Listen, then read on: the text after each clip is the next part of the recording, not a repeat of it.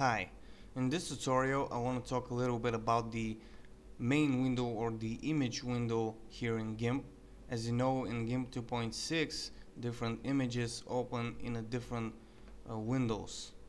So you see here the first thing that we have is the menu bar. We can also access that by clicking here or we can right click on the image and uh, you'll see again the same options here.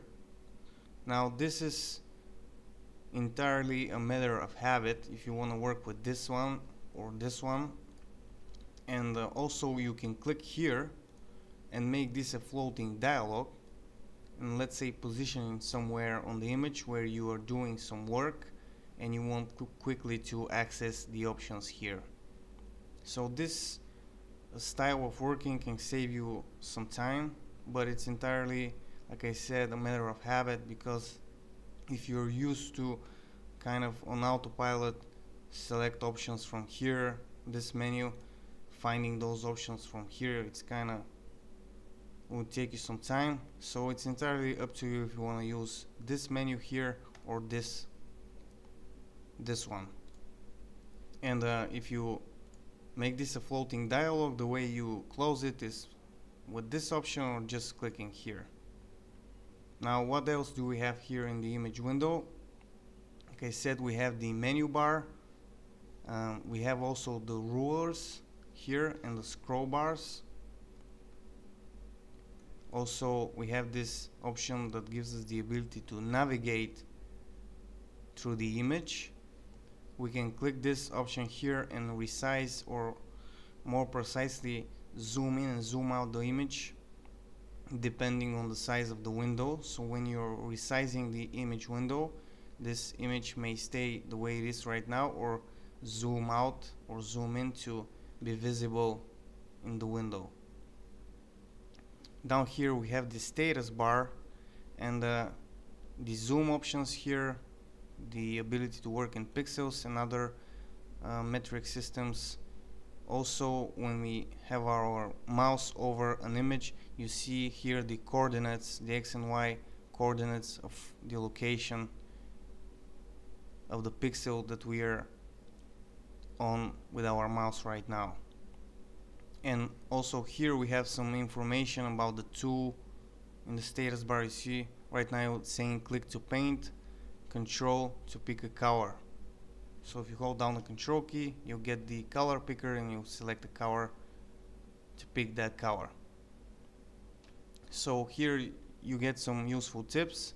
Now these scroll bars here and the rulers sometimes you may not use them often. For example the scroll bars I never use them at all. So we can go to view here and decide to hide these scroll bars like this but you see that also we lost some of the options. Let's bring them out again for a second.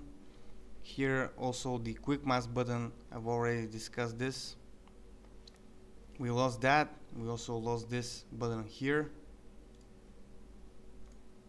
And uh, the button that allows us to uh, zoom in and out the image according to resizing the window. So hiding this scroll bars and also you can hide the rulers like that and make more space for the image. You can also hide the status bar here and uh, you can hide the menu bar. And this window now only contains on the top we have some information the title of the image the color space RGB right now how many layers we have in this image the width and the height of the image. This is also what we've got here so it's entirely up to you how you want to work right now in GIMP. And um, let's right click here view and bring our menu bar again. So if you hide this and you're wondering how to do that just right click and we'll get the same menu here. Let's go to view again show rulers show scroll bars.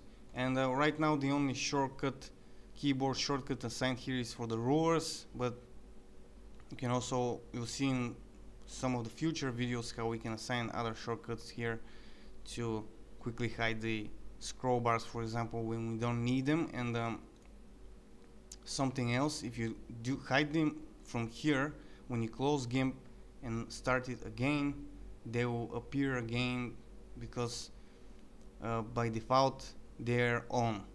So if you want to hide them and make them appear only when you want to you have to do that from the preferences. I've made enough videos about that.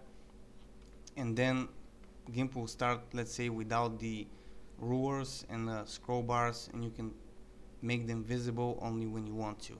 So that's it for this image window. And um, in the next tutorial I'll start discussing the file menu here. Bye for now